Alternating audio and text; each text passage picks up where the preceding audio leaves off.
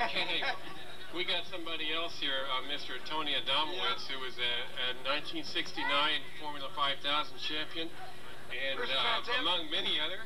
Um, and he'd like to come up and say a few things. He's probably one of the oldest race uh, contender drivers with Milt. So uh, here's uh, Tony. He's older than I am?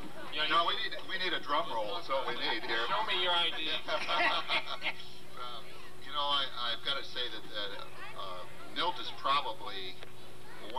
uh, nicest, nicest real people in motorsports as a driver. Uh, he's uh, a real character on and off the track.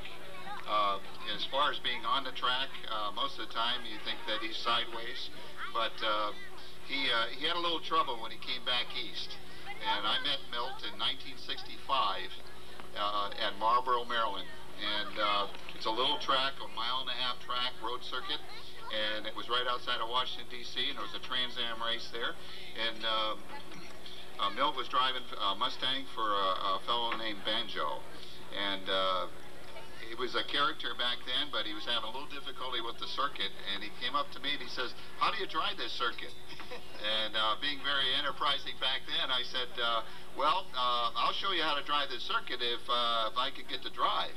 And uh, so he kind of led me on, and I showed him how and uh, gave him all the tips that we could do because that was my hometown circuit. So I knew all the tricks back then. And uh, so he did really well. I'm not sure how he finished the race uh, at this point, but uh, he was very, very uh, thankful for all the help. But, uh, you know, eh, lo and behold, I think that we probably ran into each other many times during the course of a year. But just to know that he, we go back that far, and to know he's still around and still doing a great job in vintage. Uh, he's doing a great job in doing uh, all the all the vintage races that he does. But uh, I have to tell you one story that uh, I think the story is is uh, just to give you how honest uh, Milt was. We were in Daytona at a 24-hour race there, and, and as you know, these long races after a while, uh, you get to the point where you you have a little bit of fatigue, and I'm not sure he had a little fatigue or not at that time, but. Uh, you know, we were sitting at the pits and looking out, and he says, he said, I got to ask you a question.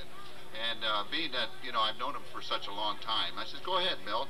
He was so serious. He says, uh, he says, no, he said, I got, he says, I got a real problem. He says, I got to ask you this question. And I says, go ahead. He says, do you piss your pants? and I said, what are you talking about? And he says, no, he says, uh, he says, uh, I get so excited, I get in the car, and once I get in the car, he says, I got to go to the bathroom. So he says, I, that's my pants. He says, don't you do that? I said, no, I don't do that.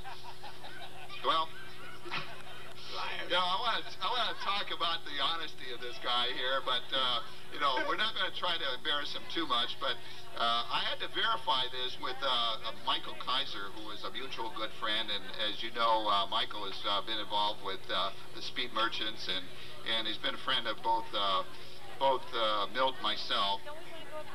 And I got to say that Michael drove with Milt and I told Milt, I said, I never want to drive with him as a co-driver. And, uh, and, and Michael says, well, why? And I says, well, I said, did you ever notice when you got in the car after Milt? He says, yeah, the seat was always wet.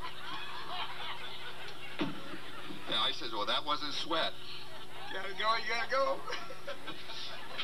The one thing about Milt, though, I mean, again, uh, he never gives up, and that uh, that's his uh, motto, Donkey Bob, and uh, so he never gives up, and he's still here today, and he's doing great. He's doing a great job, and we, we really want to uh, address this to him and, and offer a little special uh, a presentation for him if he'll just hold on for a second here. Really beautiful, beautiful lithograph, and I hope that uh, you get to enjoy this in your home for many, many years. Thank you.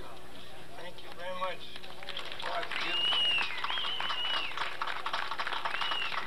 Thanks, everybody, for coming out. This has really been great.